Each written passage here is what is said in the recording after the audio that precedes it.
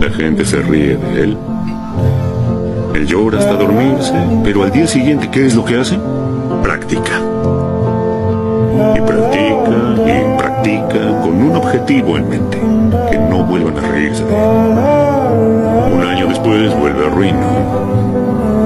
Se sube al escenario y toca el